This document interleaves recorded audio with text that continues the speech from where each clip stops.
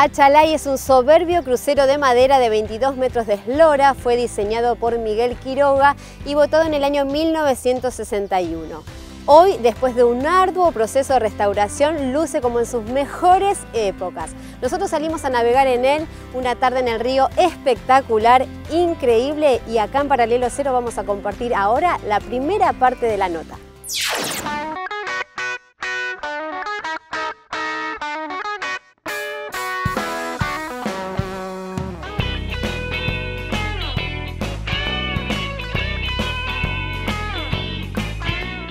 Como ustedes saben, los clásicos en este programa ocupan un lugar realmente preponderante y estamos a bordo de Achalay, un barco con mucha historia, un clásico. Estamos con Gustavo Rebel. Hoy nos encontramos presentando un clásico. Sí, tuvimos la suerte, junto con Martín Delía, de tomar este barco para embellecerlo de nuevo, ponerlo un poquito al día. Es un barco espectacular, con mucha historia y nos propusimos hacer de este trabajo en un periodo de tres años justamente este año va a cumplir 60. Y bueno, ya lo pusimos lindo para que pueda celebrar.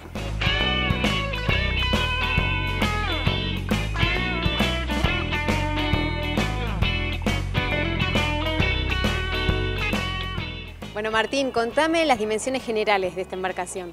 Bueno, el, el Achalay tiene 22 metros de eslora, 5 eh, metros de manga y 3 metros de puntal y como barco clásico y de desplazamiento tiene un calado de un metro y medio. Sabemos que tuvo en su proceso de restauración eh, muchísimo trabajo en ingeniería. Ahí entraste en acción vos. Contame algo de esto. Relevamos todo el casco, todo el plano de líneas, hicimos un modelado integral en tres dimensiones en un software especializado para ingeniería naval, del cual pudimos calcular todas las propiedades y todas las características geométricas del barco. Y eso a nosotros nos dio la posibilidad de saber qué es lo que va a pasar el barco, cómo va a flotar y qué características va a tener antes de ejecutar el trabajo.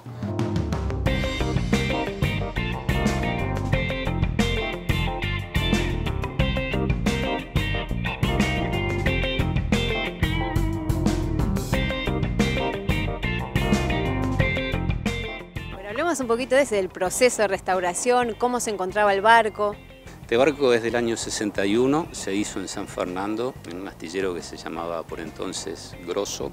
El diseñador fue Quiroga, se votó en ese mismo año con las aprobaciones de prefectura y con todos los cánones de diseño de esa época donde la madera todavía era fuerte. Es un sistema constructivo mixto, pero preponderantemente transversal.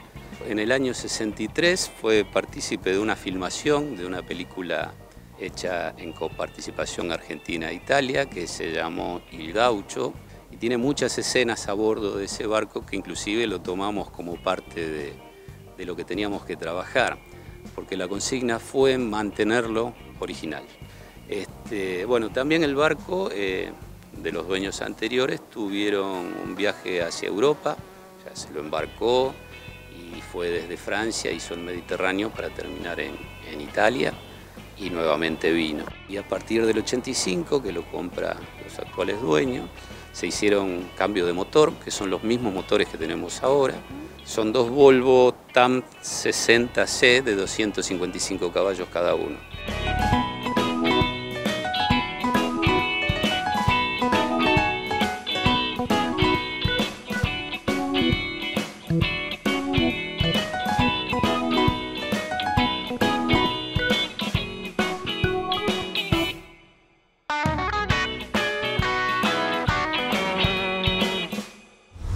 comunidadnáutica.com. Sumate, sé parte de este mundo.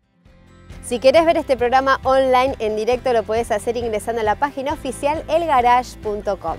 Ahora vamos a ver la segunda parte que hicimos a este imponente barco de 22 metros de eslora, votado hace 60 años. Con ustedes, Achalay.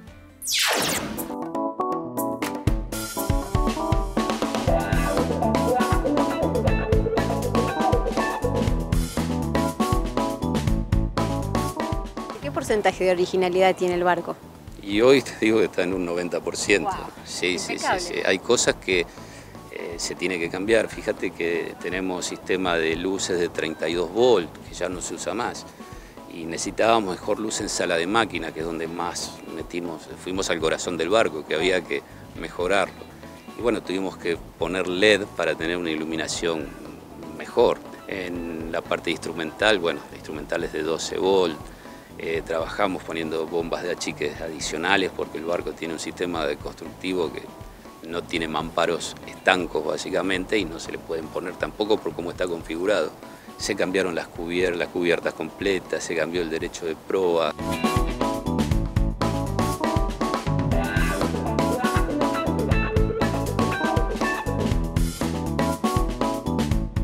Vamos a recorrerlo en su interior, ¿cómo está distribuido? El barco tiene un camarote con baño en suite en proa, después tiene una timonera interior, posteriormente sigue una cocina, de ahí salimos hacia popa a un salón y otra vez en popa tenés dos camarotes y un segundo baño. Esto mantiene un nivel superior porque abajo es sala de máquina completa de punta a punta. Tenemos pleno acceso a los tanques, al grupo y a los motores y demás.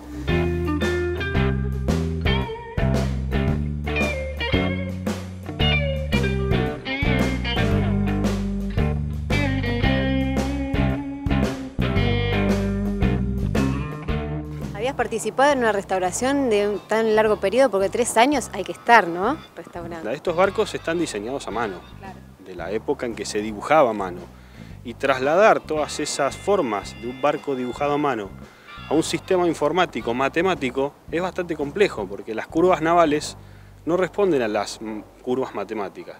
Entonces el replanteo y todo el trabajo es, es un trabajo bastante importante y la verdad que fue un desafío realmente llevarlo. Además, en un barco con tanta historia, conocido tanto en el Delta, ¿no? Porque lo reconocen, es un barco muy visto. Hay un montón de clásicos en el Delta, pero hay algunos en particular, como el Achalay, que son pieza única. O sea, es un barco que se construyó único.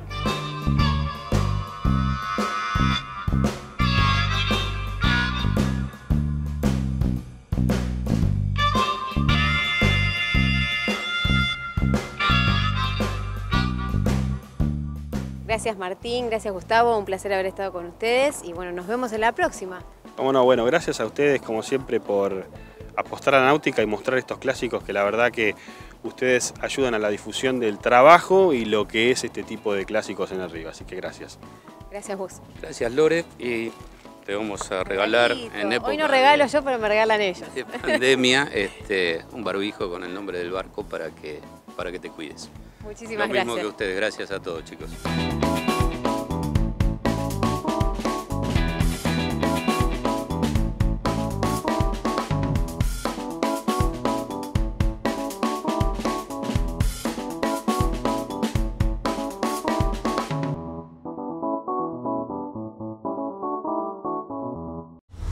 Comunidadnáutica.com. Sumate, sé parte de este mundo.